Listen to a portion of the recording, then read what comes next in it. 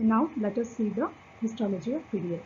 This can be studied under three headings. One is the cells, next is ground substance, another one is the fibers. So cells, fibers and ground substance, these three together constitute the histology of PDL. So under the cells, we have synthetic cells, the resorptive cells, defensive cells, progenitor cells and the cell rest of Malassez. So under the synthetic cells again we have three types. That means those which helps in synthesis that is the fibroblast, the cementoblast and the osteoblast. Under the resorptive cells again we have same things opposite of the synthetic cells that is fibroblast itself here it does a dual role of synthesis and resorption. Then the cementoclast and the osteoclast. We have to remember the suffix attached here.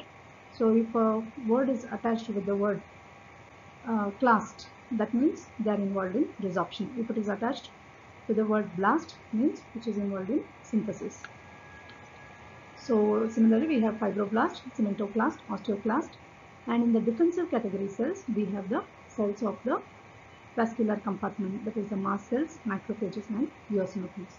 Then we have the progenitor cells also called as the undifferentiated mesenchymal cells.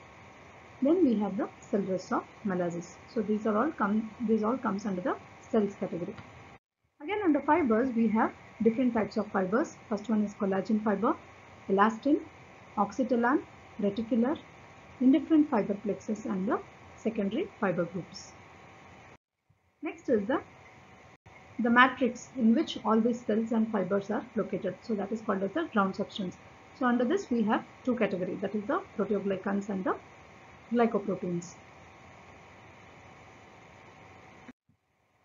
Next we have the other connective tissue elements like the blood vessels, nerves and the cementicles. So all these constitute together called as the histology of PDL. In the next video we will be reading detail about each one of them.